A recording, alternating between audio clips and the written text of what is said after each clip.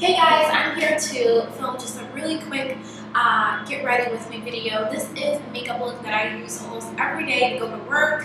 I use it to go run errands. It's just kind of my go-to look. I like to focus on skin, so I do foundation, concealer on an everyday basis, my skincare, and then I go ahead with like, you know, some bronzer and blush and highlighter. That's about it. So I'm gonna go ahead and get right into the video. If you guys have not already, please subscribe for more videos, like my video, and also give me a follow over on Instagram. Thank you so much for watching, and let's get into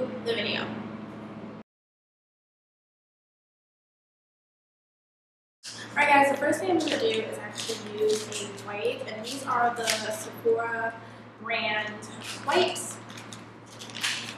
I'm going to use this just to kind of go over my skin before I put my makeup because I've been up since 6 a.m. kind of like running around, so I just want to make sure my skin is clean, doesn't have any anything on it. Okay, so now that I've wiped my skin, I'm going to go in with a facial mist. And my favorite facial mist right now is the Moravita um, Clean and Hungry Mist. It's really, really, really good. And I'm also going to do a little bit of eye cream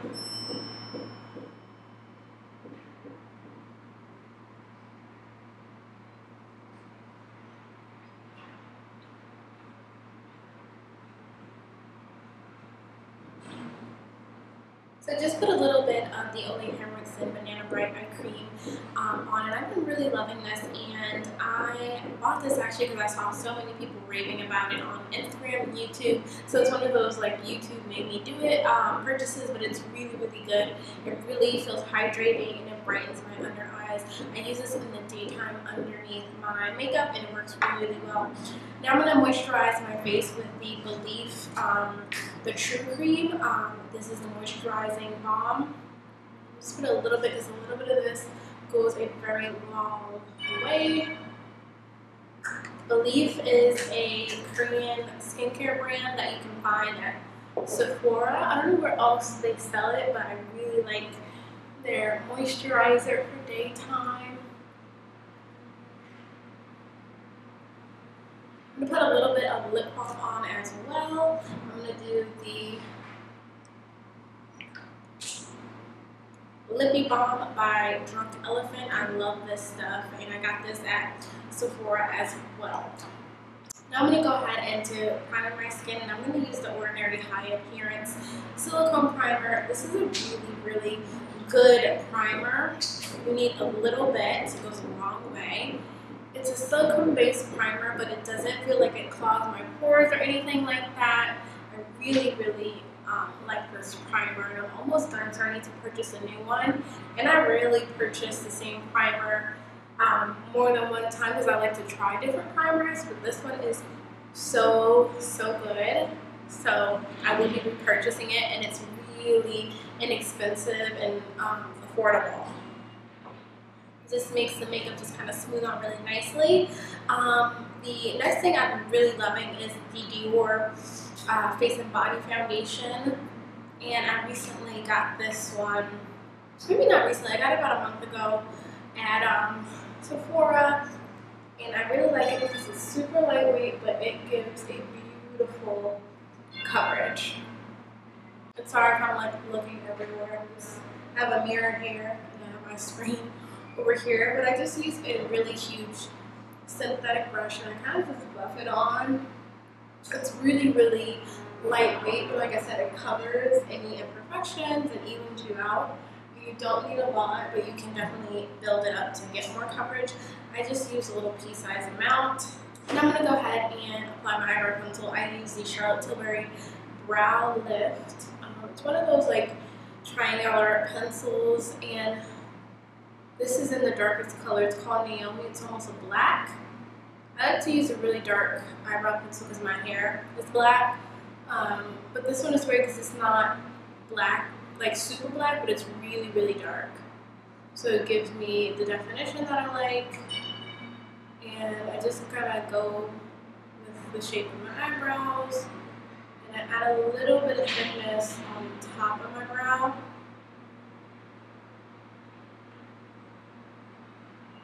Sorry, I feel like every time I film it's super loud. Um, hopefully that'll be resolved soon as I will be moving and we'll have a we'll try to set up like a filming sort of space. Love this pencil. It's a wax-based pencil, so really stays on. It's not like it's a really hard formula. It's not really soft and smushy, so it's it's hard to get it wrong really. But this is it's really really good. And so after I do that, I'm gonna go in with my Born This Way concealer by Too Faced, and I'm gonna take a just a little um, synthetic brush, and I'm gonna go ahead and carve out my brows just a little bit. I'm using a color that is a little lighter than my skin tone. I don't like it to be too bright under my eyebrows. So I'm using something just a little lighter than my skin tone.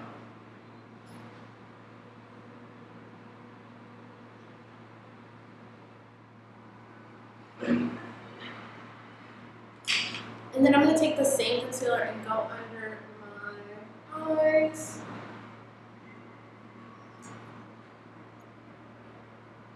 I like a lot of concealers. I have very eye circles.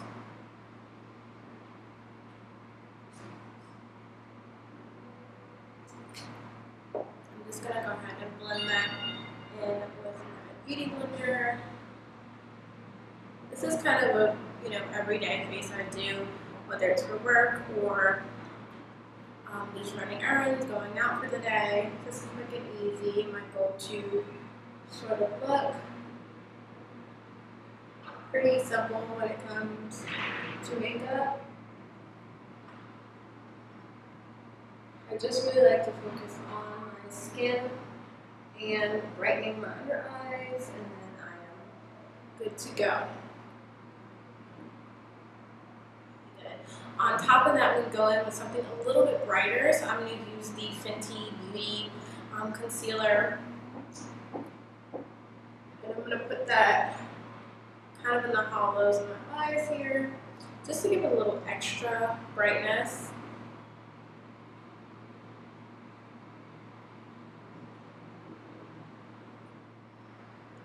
I really love this concealer. I feel like it's um, it's a little drying, but I don't mind that.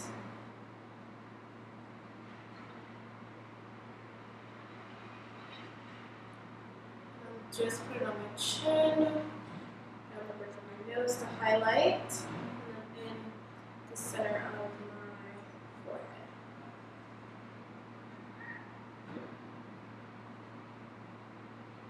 Now, to set my under eyes, I'm going to use the um, Laura Mercier Translucent Powder. I love this powder.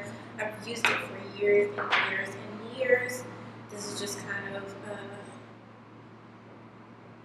It's one of my holy grail products that I'll probably always keep in my makeup routine because it really sets my under eyes and, and avoids creasing and throughout the day. It keeps my eyes really, really bright.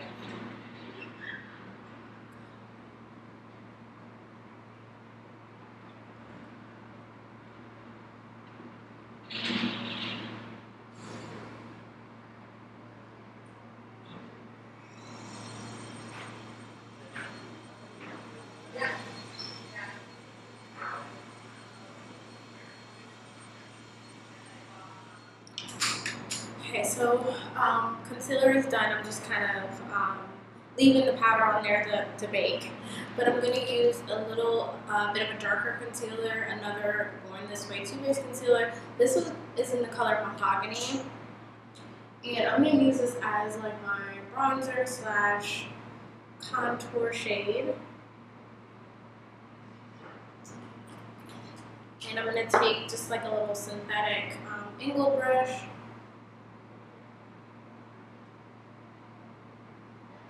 and just blend that in.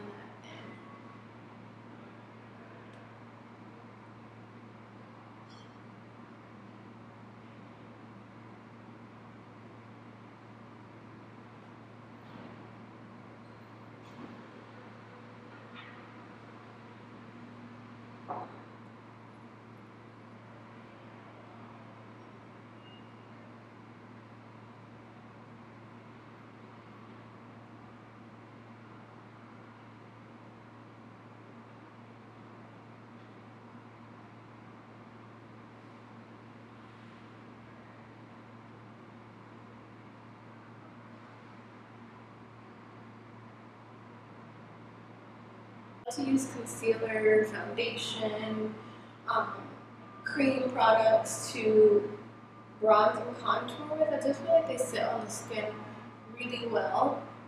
They look really, really good. And then I always um, go over it, usually with um, a bronzing powder.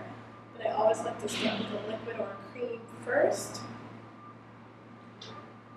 Just going down the sides of my nose, that same um, darker shade of the concealer and pulling it up into the socket of my eye. Just to give a nice little bit of contour to the nose. And I'm gonna go ahead on top of that with um, a bronzer. And this is the MAC um, Dark Deep Mineralized Skin Finish.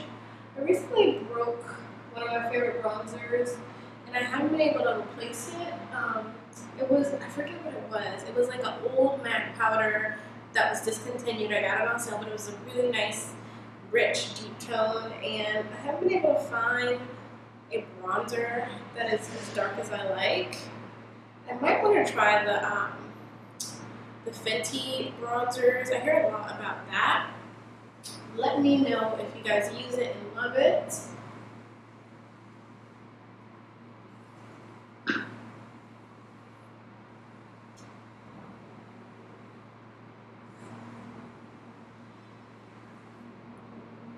now that I have my bronzer on, I can go in with my base powder and um, right now I'm using the Laura Mercier um, Smooth Finish Foundation Powder as my powder. I used to use this used to use this years ago and um, recently bought it again and I really love it.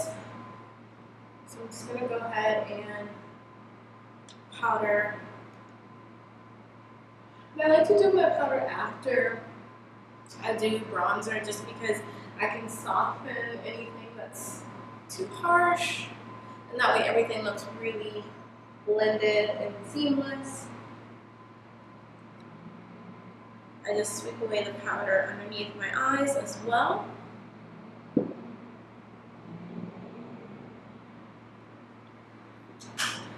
Okay. Now for blush, I'm going to actually use, there's a lot of MAC in here, and I don't use a lot of MAC products, but um, I guess recently I've gotten back into using MAC. This is the Power Pro Longwear Blush in Eternal Sun. It's just a really pretty um, bronzy toned blush, and I like it because it's just if you want like a natural color and you don't want anything too pink or too coral, I like to go with something that's a bit more tawny or um, bronze tone, like brown, a brown blush, because on my skin tone I like how that looks.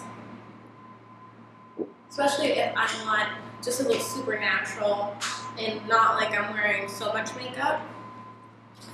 And then what I do before I put on the highlighter is I actually do um, my setting spray on my face. So I'm going to use a Huda Beauty um, Resting Boss Face Waterproof Setting Spray Ultra Matte Finish. As that is drying, um, I go ahead and I put on my highlighter. I don't like this. I'm just kind of trying to use it up because this smells like spraying perfume on your face. It really has a lot of fragrance in it which I don't like at all, but I'm trying to use it up. So I'm using as a highlighter the Pat McGrath Highlighting Trio. I love this. When you want a pretty highlight but that is not too in your face.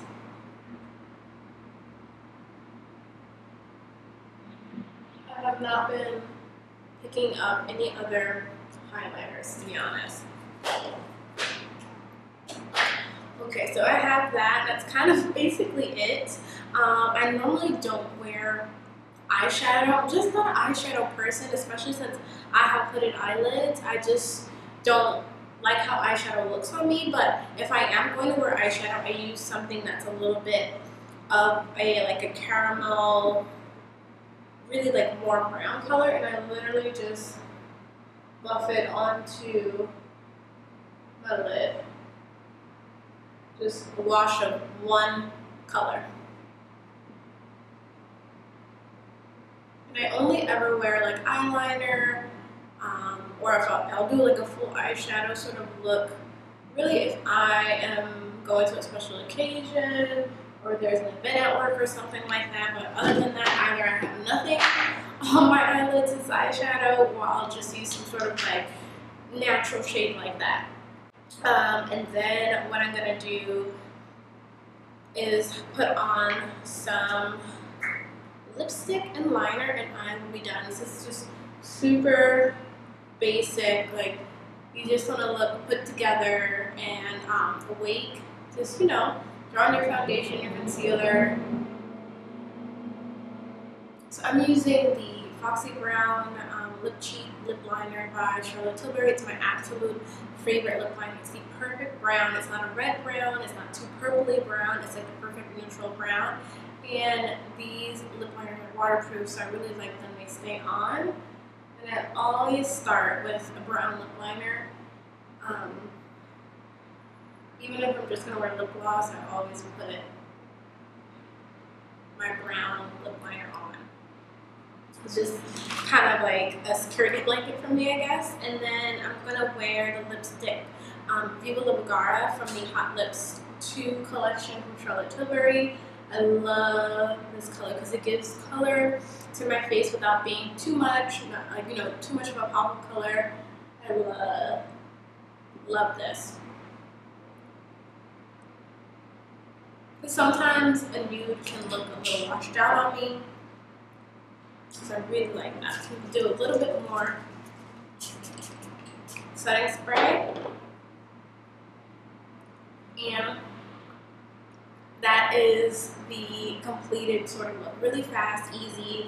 Um, if I'm running in the morning, this takes about 10-15 minutes um, and then I'm good to go to work or you know go run errands or anything like that. Sometimes I'll even put a little bit of mascara on my bottom lashes.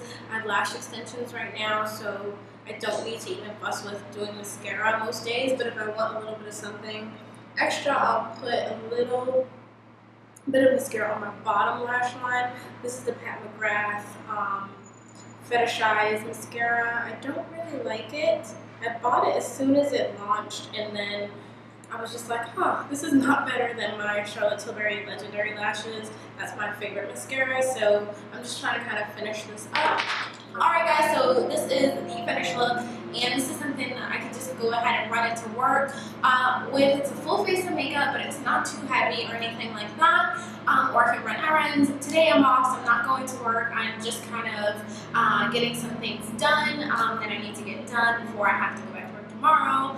Um, so yeah, I'm just gonna kind of run around the city and I hope you guys enjoyed this video. Don't forget again to subscribe and give me a like and go ahead and follow me over on Instagram. I'll see you guys in the next video. Bye guys!